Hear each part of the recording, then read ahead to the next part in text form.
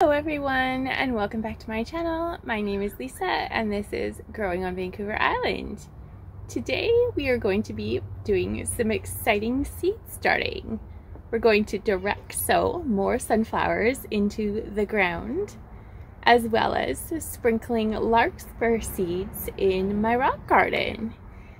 So, in case you missed my first video on planting sunflowers for Ukraine, I suggest you go check it out. We have exciting developments in that department for updates. So now, let me show you what we're going to plant.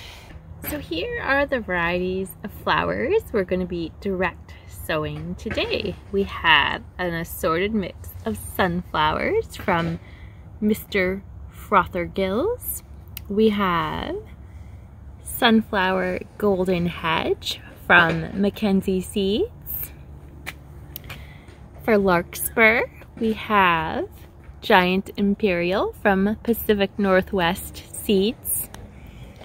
And we also have Larkspur Imperial Strain Mix from the Ontario Seed Company.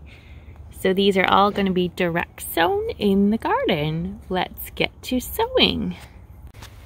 Before we start sowing our seeds, I want to give you an exciting update on our previously sown sunflowers in the video Planting Sunflowers for Ukraine.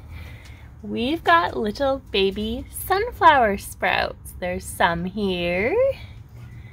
Tiny little ones in here.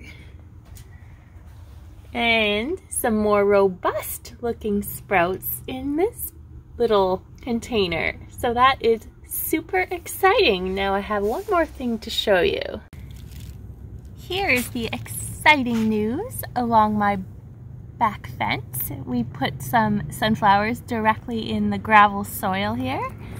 And we've got a few sprouts coming up. This is definitely the earliest I've ever been able to sow and grow sunflowers in the ground in the Pacific Northwest. We're zone 7 to 8. And I planted these about a month ago. Today is April the 7th or 8th today. so I'm really looking forward to some early sunflowers this year. So let's get to planting our seeds. So this bank is where I'm going to be planting some of the sunflowers today. I'm going to be planting some along this fence going up the hill and through this mess of sticks, this is actually a giant shrub called cotoneaster that was massively pruned, even though it looks like a giant pile of sticks. We pruned it in the fall. And there is still a little bit of green on it. Don't be thinking it's dead. This thing is a beast. And I am quite confident it's going to come back and take over this whole bank again. But until it does, I was thinking it would be fun to put a whole bunch of random sunflowers in the middle.